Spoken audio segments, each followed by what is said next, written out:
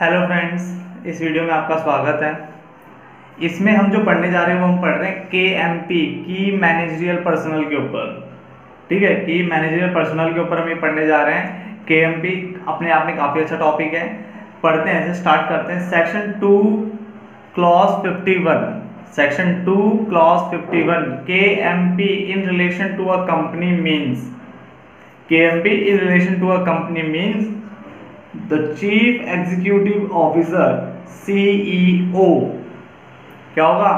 CEO और the managing director MD और the manager तो उसने बोला कि के एम अगर मैं डेफिनेट दूँ की मैनेजर पर्सनल होते कौन कौन है? तो सीईओ होता आपका, यानी chief executive officer managing director और manager done number two company secretary C S number three whole time director number four the chief financial officer C F O तो पहले यहाँ पे ध्यान देते हैं चीफ एग्जीक्यूटिव ऑफिसर नंबर दो managing director और मैनेजर सीईओ एमडी और मैनेजर पहले तो ये बात हो गई।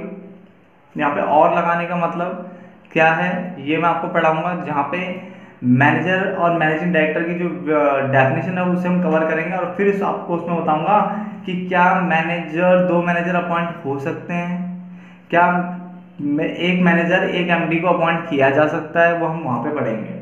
यानी वो वीडियो जस्ट कुछ टाइम बाद आ जाएगी आपके सामने। अभी बात ये करते हैं कि ये तीन नाम हो गए उसके बाद company secretary full time director और chief financial officer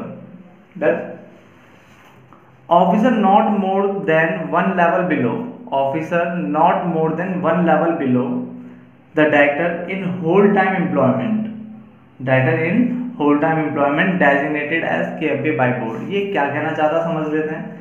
मान लो, ठीक है, ये आपका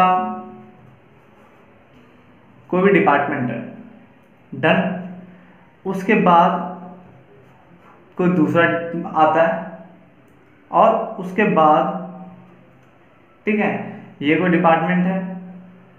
यहाँ पे आपका मान लो कोई भी डायरेक्टर है या कोई भी है और उसके बाद फिर कोई और आ रहा है। तो उसने बोला कि officer not more than one level below यानी यहाँ वाले तो के एम है ही है। इसके अलावा इसने बोला officer not more than one level below the director in whole time employment यानी इससे एक लेवल और नीचे नहीं होना चाहिए, यानी इसको की बात नहीं कर रहा हूँ, मैं सिर्फ़ इसकी बात कर रहा हूँ। इसे भी मैं के बोलूँगा। डन तो officer not more than one level below the director in whole time employment designated as K M P by board तो B O D board of director ने उसे भी क्या बोल दिया? के एम पी बोल दिया। और सच अदर ऑफिसर एज में या फिर कोई और बंदा जिससे क्या है? तुम्हारा, ठीक है? प्रेस्क्राइब हो जाएगा। यानी जिसके बारे में बोल दे कि ये एम पी तो उसको एम पी मानना ही पड़ेगा। डन अगला पॉइंट है सी में specified companies to have whole time K M P यानी कुछ ऐसी कंपनीज़ है जहाँ पे आपको whole time K M P रखना होता है।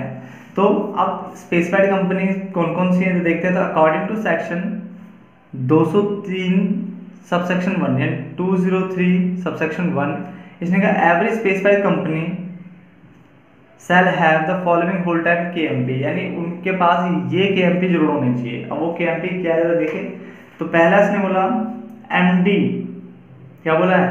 Managing director chief executive officer और मैनेजर ठीक है? इनमें से कोई, इनमें से कोई एक और यहाँ पे वर्ड तो मैनेजिंग डायरेक्टर और सीईओ चीफ एग्जीक्यूटिव ऑफिसर और मैनेजर और अगर ये नहीं है तो होल टाइम डायरेक्टर भी आप बोल सकते हो। तो पहला तो ये हो गया।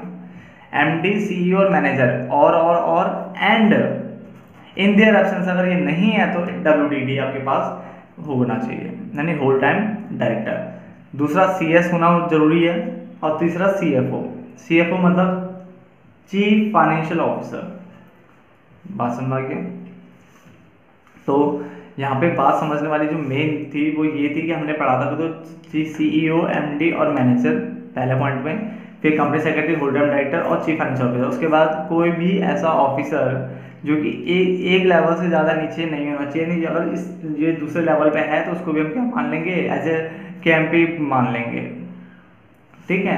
और कोई भी अदर जो कि प्रेस्क्राइब किया। अब यहाँ पे जो बोला कि स्पेसिफाइड कंपनी में ये होल्ड एंड के होना चाहिए। अब कौन सा बोला?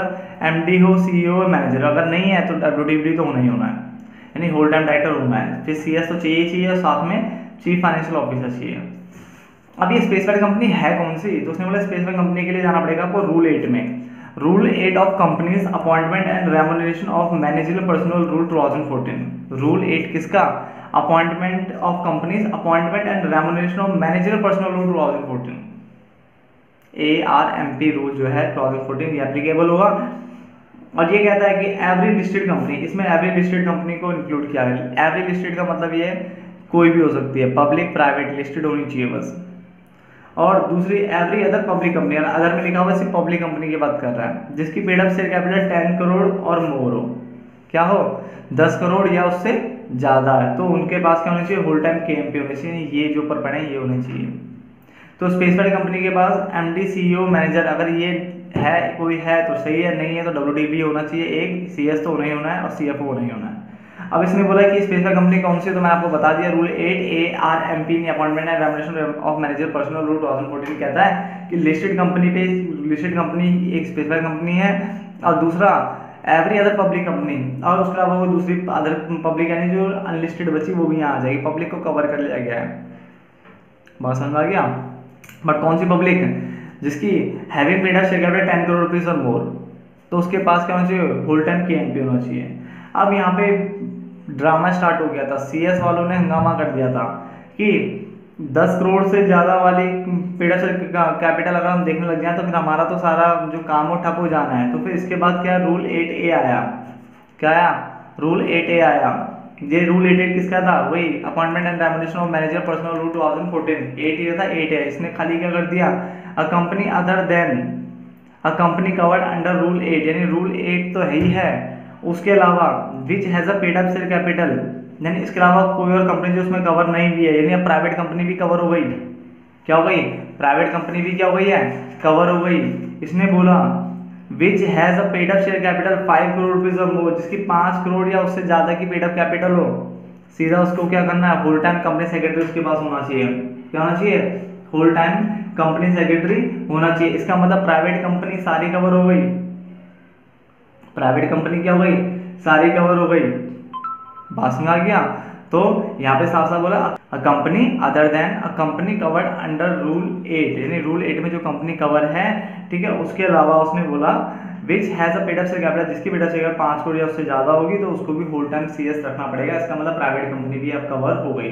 तो अगर मैं एक बार ब्रीफली इसको समझाऊँ आपको तो आपको ये देखना है कि एम की बात करूँ सी e की बात करूँ मैनेजर की बात करूँ एम डी सी मैनेजर ठीक है? और होल टाइम डब्ल्यू की बात कर लो। और साथ में सी एफ़ ओ की बात कर लो, ये चार हो गए। सी एस को दो मिनट छोड़ देना।